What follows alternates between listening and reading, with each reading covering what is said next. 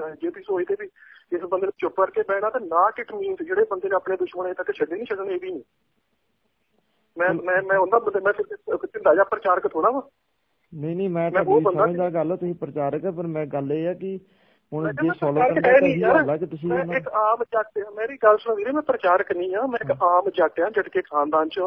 ਤੇ ਸਾਡੀਆਂ ਬੜੀਆਂ ਲੜਾਈਆਂ ਨੇ ਇਹੋ ਜਿਹੀਆਂ ਜਿਵੇਂ ਕਿ ਅਸੀਂ ਰੋਜ਼ ਹੀ ਹਥਿਆਰਾਂ ਦੀ ਵਰਤੋਂ ਕਰਦੇ ਸਾਡੇ ਵਾਸਤੇ ਨਵੀਆਂ ਖੇਡਾਂ ਨਹੀਂ ਹੈ ਮੈਂ ਤਾਂ ਪ੍ਰਚਾਰਕ ਹੈ ਹੀ ਨਹੀਂ ਮੈਂ ਤਾਂ ਸ਼ੌਕੀਆ ਇਹ ਕੰਮ ਕਰਦਾ ਵੀਰੇ ਮੈਂ ਐਮਡੀ ਡਾਕਟਰ ਆ ਅੱਛਾ ਮੈਂ ਤੁਸੀਂ ਕੀ ਨਾਮ ਅਮਰਧਾਰੀ ਆਪਣੇ ਪ੍ਰਚਾਰਕ ਹੋ? ਹਾਂ ਮੈਂ ਪ੍ਰਚਾਰਕ ਨਹੀਂ ਹੈਗਾ ਵੀਰੇ ਮੈਂ ਤਾਂ ਆਪਣੇ ਸ਼ੌਕ ਦੇ ਨਾਲ ਹੀ ਕੰਮ ਕਰਦਾ ਨਾ ਮੈਂ ਕਿਸੇ ਕੋਲ ਲੈਕਚਰਾਂ ਦੇ ਪੈਸੇ ਮੰਗਦਾ ਨਾ ਮੈਂ ਕਿਸੇ ਕੋਲ ਲੈਂਦਾ। ਮੇਰਾ ਸ਼ੌਕ ਹੈ। ਤੇ ਮੈਂ ਇਸ ਉੱਪਰ ਕੰਮ ਕਰਦਾ ਇਹ ਮੇਰਾ ਪੇਸ਼ਾ ਹੈ। ਅੱਛਾ ਹੁਣ ਤੁਸੀਂ ਕੀ ਮਤਲਬ ਚਾਹੁੰਦੇ ਹੋ ਕਿ ਉਹਨਾਂ ਨਾਲ ਗੱਲ ਕਰਨੀ ਹੁਣ ਤੁਸੀਂ ਫੋਨ ਤੇ? ਹਾਂ ਤੁਸੀਂ ਮੈਨੂੰ ਦਾ ਨੰਬਰ ਦਿਓ।